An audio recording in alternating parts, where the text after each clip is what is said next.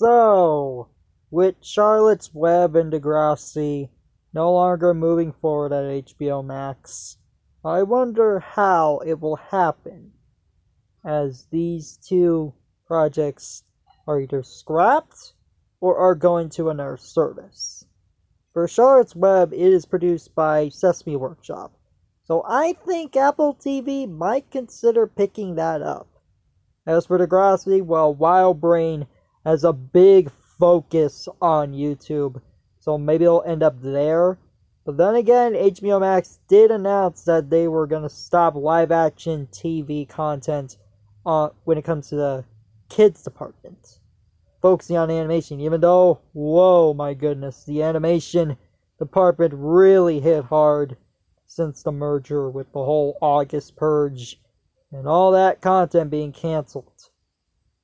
So, I wonder what's gonna happen to these two. I have no idea, but time will tell when there are updates. Anyway, guys, this is Kawaii Life Antonio, signing off.